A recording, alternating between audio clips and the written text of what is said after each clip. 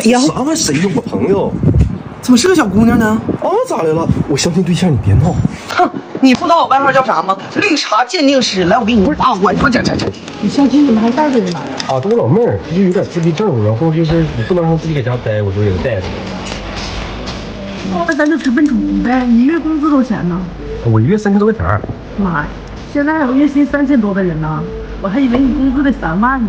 啊，那美女，我方便问一下你是做什么工作的吗？你一月能挣多少钱啊？啊，我自由惯了，我现在不工作，但是我哥做搬运生意，一个月能挣八万。啊？妈，什么搬运工作一月能挣八万？拿三轮子搬呢，一月不得灯冒烟了，挣八万？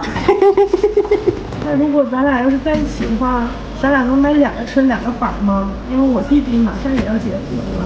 不是，那美女，我给你个建议吧，你别找他，你找那许愿池那王八，比他灵，他不行。拜拜。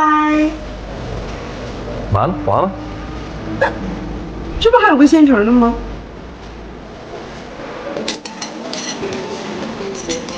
要不咱俩试试呢？